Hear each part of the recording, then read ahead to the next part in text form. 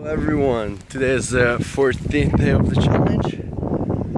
Whew. I wanted to talk today about this guy that I picked up and the first thing he tells me is how bad the world is because on the news he read something about what's going on in Yemen and whatever like before this never knew that there was a lot of bad things going on. Just because we see it on the news, Almighty TV is telling me something about that. Suddenly the world sucks. You know, I I don't look at news because uh, I don't like the way they use the negativity bias that we got to get the rating. Oh, we need people to watch our show.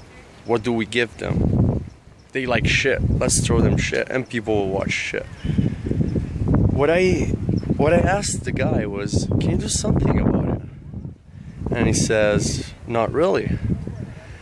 And I noticed one thing, something that I something that I used to do personally, and it is breathing with your chest, tension on your shoulders, which is like the worst thing. But nobody told me that that was really bad for my health. I used to lose my voice because I was constantly breathing with my chest.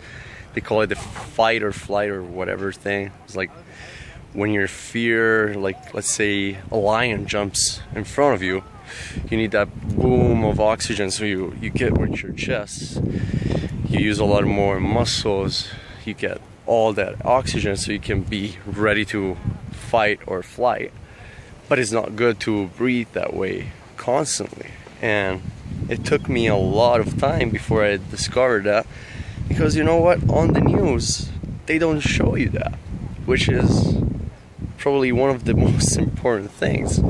So I told the guy, Do you realize that you're not even breathing correctly, right? And he said, What do you mean? So I said, Try to breathe with your stomach. You need to use your diaphragm. You don't need to use your chest. The tension that you got on your shoulders, you need to let it go. Show me your hands. I asked to watch his hands. His hands were white. There's no blood flowing. I mean, I met this uh, Tai Chi master and he's telling me about how this tension blocks what he calls chi from flowing through your body. Western medicine will call it oxygen uh, that gets pumped through your veins into all your body.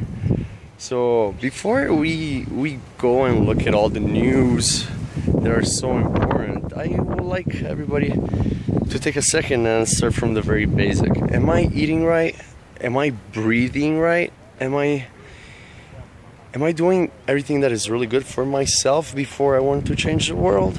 All right. That I think should be the first question everybody asks themselves. So I hope everybody has a beautiful day. Thanks for watching. Bye.